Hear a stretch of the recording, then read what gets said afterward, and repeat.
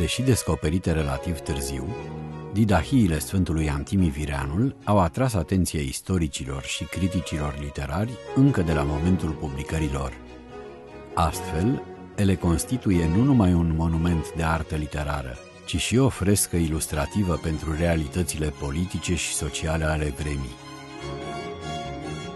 Lucrarea omiletică a Sfântului Mitropolit cuprinde numeroase referințe scripturistice, patristice, dar și trimiteri către filozofii antici, făcând din didahii adevărate opere de retorică creștină ale literaturii române vechi.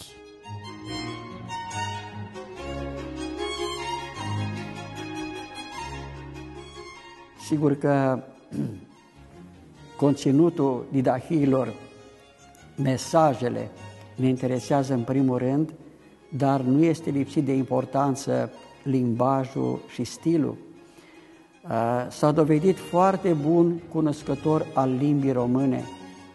Iată, un străin de neam a ajuns să fie, după expresia mitropolitului Antonie Plămădeală, titor de limbă și cultură românească. Ne minunăm de felul în care așează, înșiruie cuvintele în aceste didahii și cum împletește anumiți termeni, am zice, arhaici și pentru vremea aceea, dar în limbajul și în stilul care începea să se formeze contărându-se uh, limba română literară. În această privință apreciem foarte mult faptul că profesorul Gabriel Strempel și cei din echipa dânsului au păstrat cât s-a putut de mult din uh, lexicul pe care l-a folosit mitropolitul Antin.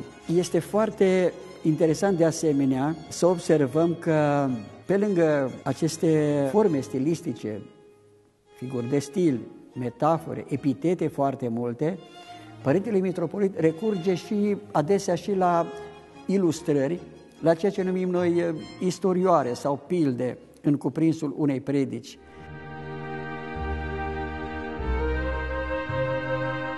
Despre personalitatea Sfântului Antim și despre grija și responsabilitatea duhovnicească de care a dat dovadă în rostirea cuvintelor sale către poporul român, vorbește Nicolae Cartojan următoarele. Mitropolitul Antim a înțeles acest mare adevăr și, de pe înălțimea amvonului, el a știut să găsească cuvinte mișcătoare de mângâiere care răsunau adânc în suflete, alinând necazurile unui neam întreg ca de pildă acele aluzii la lăcomia nesățioasă a turcilor care nu mai conteneau cu biruri și cu angarale.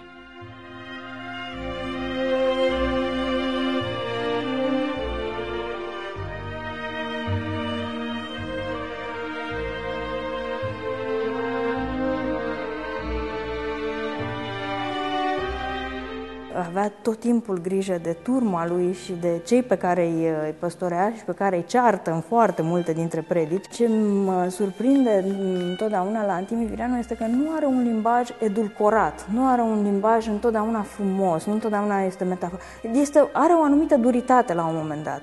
Își ceartă publicul. Chiar și în uh, scrierile lui, uh, când devine episcop de Râmnic și după aceea când este ridicat la rang de mitropolit, scrie el însuși uh, o învățătură bisericească și o învățătură despre spovedanie pentru preoți. E bine, este foarte dur în cuvântul de început. Le spune că n-a văzut atâta prostie, bine asta în sensul de, oameni, de simplitate, de nedumerire și de uh, lenevire la citit.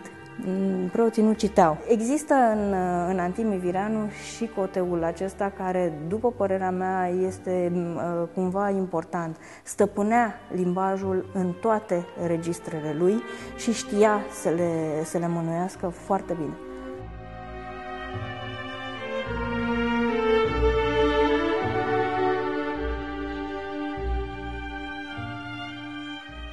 Sfântul Antima a fost un predicator care și-a manifestat asprimea față de patimile în care se complăgeau păstoriții săi. Astfel, mâhnit de starea morală a credincioșilor, el spune în cuvântul de la Duminica Vameșului și a Fariseului următoarele.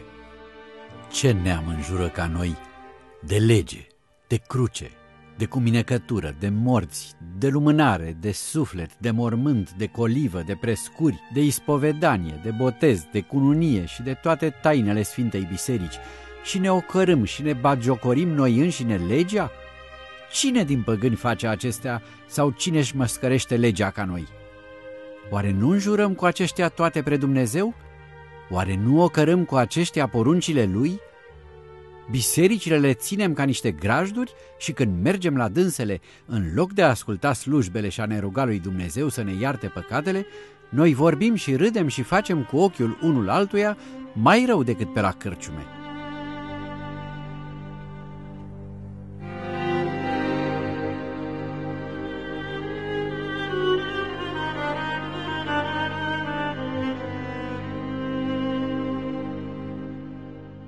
Despre această lucrare a Sfântului Antim, marele savant și istoric Nicolae Iorga scria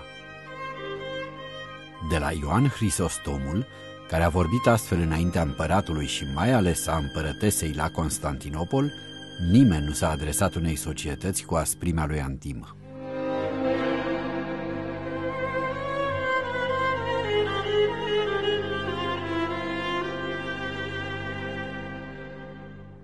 Este doar un exemplu de mustrare părintească pe care o face Sfântul Mitropolit. Sigur că erau de față acolo boieri, erau soțiile lor, uh, uneori veneau uh, aceste soții de boieri mari, îmbrăcate luxos după vremea aceea, uh, cu fel de fel de bijuterii și ne amintim de un cuvânt, o să-l spun așa foarte pe scurt, uh, iarăși foarte mustrător când zice vis-a-vis -vis de acest comportament, de aceste, de aceste podoabe exagerate în biserică, zice, ia scoate mâna Sarei, vorba de soția lui Avram, patriarhul, o văz plină de cocă, cu referire la faptul că Sara a pregătit uh, pâine pentru cei trei tineri, de fapt, cei trei îngeri, Sfânta Treime. Zice, ia scoate mâna unei muieri din zilele noastre, o văz plină de fleacuri drăcești. De parcă Dumnezeu n-ar fi știut cum și cu ce să împodobească femeia.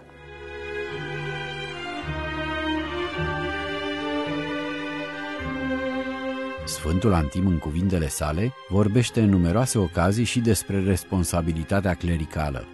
Astfel, el le atrage atenția contemporanilor asupra următoarelor.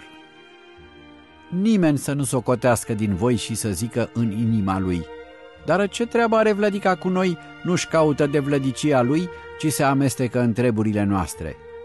De n-ați știut până acum și de n-au fost nimeni să vă învețe, Iată că acum veți ști că am treabă cu toți oamenii cât sunt în țara românească, de la mic până la mare și până la un copil de țâță, afară din păgâni și din ceea ce nu sunt în lege cu noi. Căci în seama mea v-au dat stăpânul Hristos să vă pasc sufletește ca pre niște oi cuvântătoare și de câtul meu spânzură sufletele voastre și de la mine va să vă ceară pre toți, iar nu de la alții, până când vă voi ufi păstoriu ci vă caută în scurte cuvinte să mă ascultați de veți fi creștini și de vă țineți ai lui Hristos, că precum nu pot fi oile fără de păstoriu, așa nici norodul fără de arhiereu, și ver ce va păsa cuiva de cele sufletești, alerge la mine ca la un părinte, că-l voi vindeca cu ajutoriul lui Hristos.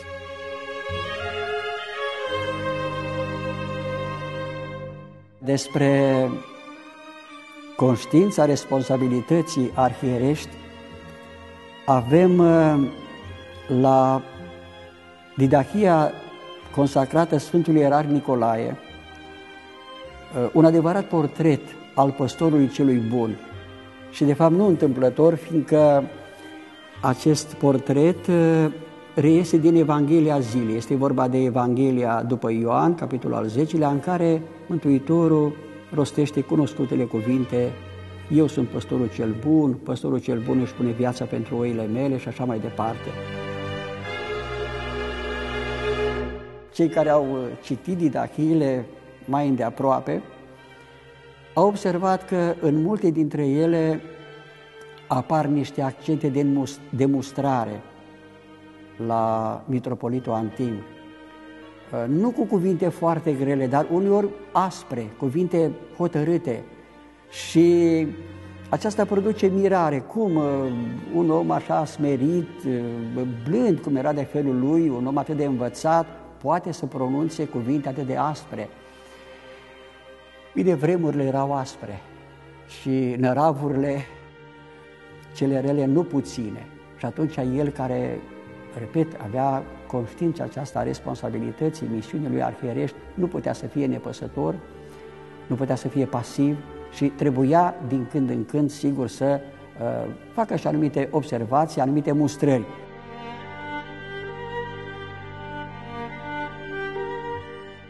Marele ierarh din cetatea Bucureștilor, în didahiile sale, vorbește cu multă râvnă și evlavie despre Maica Domnului, arătându-se un adevărat imnograf în vorbirea despre preacurata Fecioară.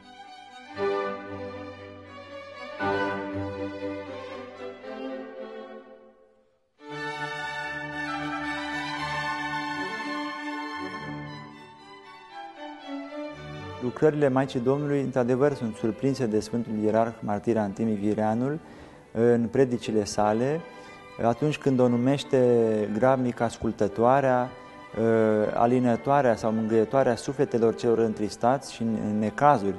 Și din acest motiv sunt dese îndemnurile Sfântului Antim de a apela la mijlocilea și la rugăciunile ei. Aceste cuvinte de laudă pe care Arhanghelul le adesează Maicii Domnului, bucură-te cea plină de har, Domnul este cu tine. Cu aceste cuvinte și începe Sfântul Antimi Vireanul o tipăritură a sa care conține slujba adormirii Maicii Domnului, o slujbă pe care a tipărit-o la Râmnic în 1706, cu îngrijirea și cu osteneala arhimandritului Ioan de la Hurezi. Această cărticică în care se găsește slujba adormirii Maicii Domnului conține și multe texte în limba română, printre care Apostolul Evangheliei apare miile, Uh, care nu vorbesc despre profețiile care au uh, vestit venirea Fiului Dumnezeu dintr-o fecioară, uh, această cărticică reflectă cumva ca și predicile, pentru că Sfântul Antim are mai multe predici la adormirea Maicii Domnului, un atașament al Sfântului Antim și față de Sfânta Fecioară, dar față de această mare sărbătoare,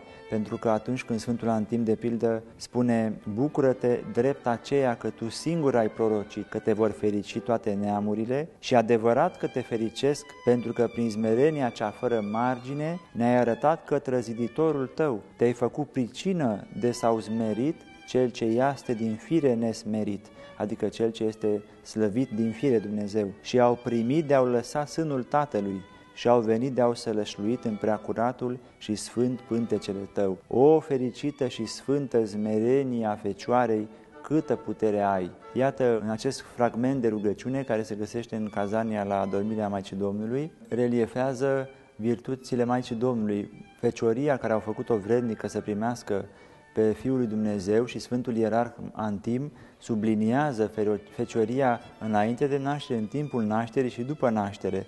Deci ține să arate aceste aspecte foarte importante din Mariologia Ortodoxă. De asemenea, subliniază smerenia de care Maica Domnului a dat dovadă prin supunerea față de voința lui Dumnezeu și totodată îndeamnă atunci când spune câtă putere are smerenia Maicii Domnului, evident îndeamnă spre urmarea acestei zmerenii, acestei uh, plecări, am spunea noastră, a ființelor finite, a ființelor create, uh, cu plecarea noastră sub mâna Creatorului, cu încredere, cu nădejde și cu ascultare mai ales.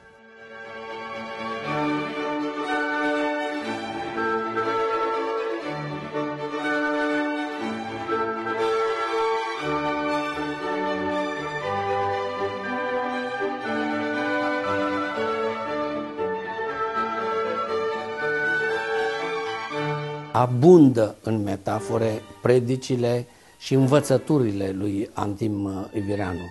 Dacă m-aș referi la una, le-aș ignora pe celelalte. Dar un fapt care mi-a rămas și nu numai mie în minte, ci unei personalități de mii și mii de ori mai importantă ca mine, respectiv lui George Călinescu, este acea cascadă de metafore, pe o pagină și jumătate, pentru caracterizarea Fecioarei Maria. Sunt cele mai frumoase metafore pe care le poți întâlni atunci când vorbește de Fecioara Maria. E și soare, este și lună, este și crin, este și pom înfloritor și apă limpede. Călinescu n-a putut să o exprime în istoria literaturii române decât tot pentru o metaforă și a zis că acest șir de metafore la antim seamănă cu o fastoasă coadă de păună. Deci a fost nevoit, nevoit inclusiv el să folosească metafore. Aceleași metafore le găsim la caracterizarea Sfinților Împărați Constantin și Elena. Aceleași metafore, nu în antiteză, ci chiar în tandem, le găsim la descrierea uh, Apostolului Petru și a Sfântului Apostol Pavel.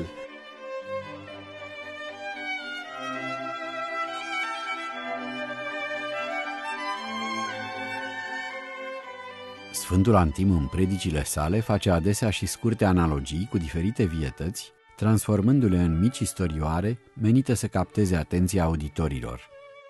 De pildă, în cuvântul său la marele praznic al Bobotezei, el zice Să facem cum face ariciul, că după ce merge la vie, întâi se satură el de struguri și apoi scutură vița de cad broboanele jos și se tăvălește predânsele de să înfigă în ghimpii lui și duce și puilor. Așa să ducem și noi, fiește cine pe la casele noastre, copiilor și celor ce n-au mers la biserică, din cuvintele ce am auzit din Sfânta Evanghelie și dintre alte cărți, ca să-i hrănim și predânșii cu hrana cea sufletească.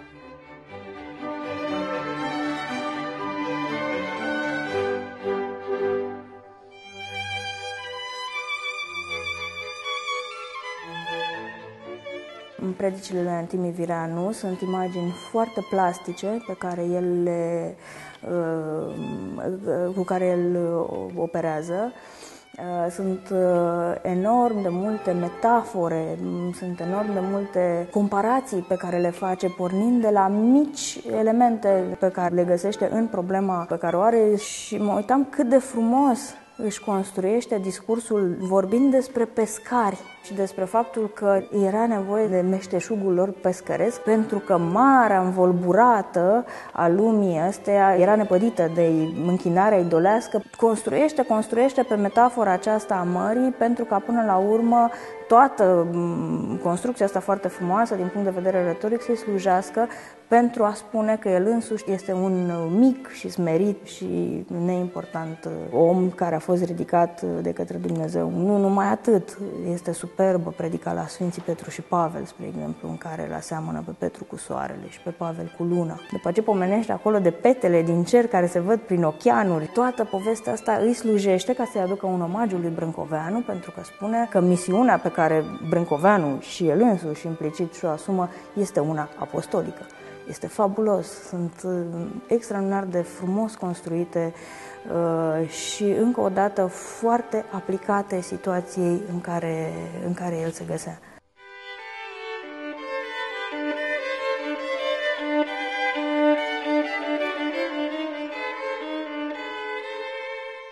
Cu numai un secol în urmă, Alexandru Odobescu scria despre ierarhul de origine georgiană.